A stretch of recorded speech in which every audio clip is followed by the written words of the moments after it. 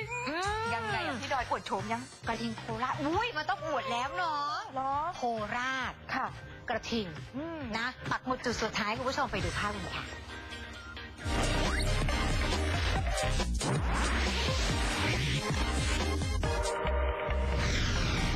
อันนี้ไงน้องอยากดูโฉมงามเห็นไหมจ๊ะโอ้โหไล่กันเองนะอ๋อแล้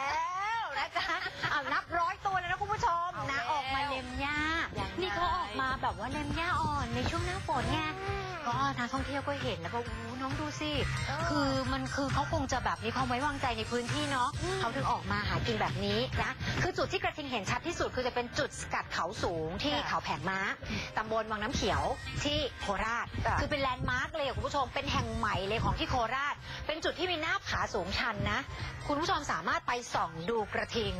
นะแล้วทางเจ้าหน้าที่เขตห้ามล่าสัตว์ป่าเขาแผงม้าเนี่ยเขาจัดส ถานที่เอาไว้ให้คุณผู้ชมไปดูได้ ใช่ไหมคะ แน่นอน พร้อมกับนำรูปปั้นกระทิงป่าขนาดบิ๊กบิ๊กใหญ่ๆเลยน้ำหนักสามตันสูงสามเมตรเนี่ยมาตั้งโชว์ให้นักท่องเที่ยวแวะเวียนมาถ่ายรูป ไว้เป็นที่ระลึกด้วยนะ ว่าจุดนี้แหละคือจุดที่เราจะได้เห็นกระทิงออกมาเดินแดดกัน แสดงแสดงว่าเราเข้าไปดูใกล้ๆไม่ได้เนาะเราต้องไปเป็นจุดส่องออกไปเนาะ ถูกต้องอ๋อต้องส่องลงไ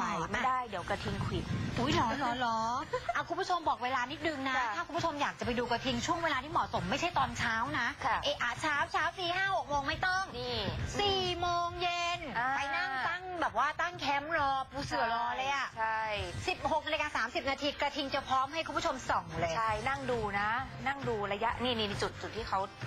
มีกระทิง big big โชว์ไว้อ๋นะอตัวเบลอเลยอะคุณผู้ชมตัวเบลอเลยมีที่ให้คุณผู้ชมไปหาที่เที่ยวเต็มไปหมดอืมเสาร์อาทิตย์นี้ไม่รู้จะไปเที่ยวไหนก็ไปส่องกระทิงกันได้นะ เลยนะขอบคุณนะอ่าพี่ดอยไปเนอะไปไปไปเออโอเคนะคะอะมา